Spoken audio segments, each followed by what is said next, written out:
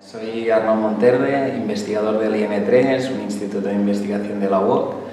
ah, y trabajo haciendo investigación sobre la relación entre, relación entre tecnología, participación ciudadana y movimientos. Y en la sesión de, de, hoy lo que vamos a trabajar básicamente es explicando los proyectos que estamos desarrollando, que es el de SIDIM, una plataforma de participación o plataforma digital de participación pensada para articular procesos democráticos, un proyecto impulsado desde el Ayuntamiento de, Barcelona en colaboración con la universidad y otras, y otras organizaciones e instituciones que tiene como objetivo abrir procesos democráticos, articular la participación de manera presencial y digital, hacerlo de manera abierta, hacerlo de manera colaborativa. La plataforma está desarrollada en código abierto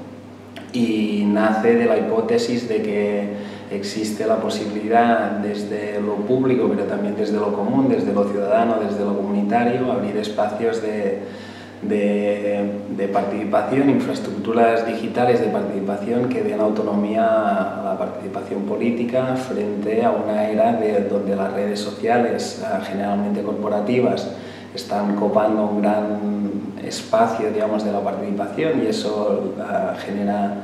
pues en términos democráticos muchas desigualdades y también muchas inseguridades y consideramos que desde la administración pública pues se pueden impulsar otro tipo de políticas tecnológicas y también tecnopolíticas, ¿no? porque al final toda la tecnología es política y el modo en que se desarrollan van a determinar también la forma en cómo estas van a ser desplegadas. Entonces el Decidim es un proyecto que que se está extendiendo a muchas ciudades, más allá de Barcelona, no solo en, Cataluña, en España, sino en otras ciudades y regiones del mundo. Y también se está empezando a utilizar en organizaciones, construyendo lo que estamos diciendo una nueva generación de redes políticas.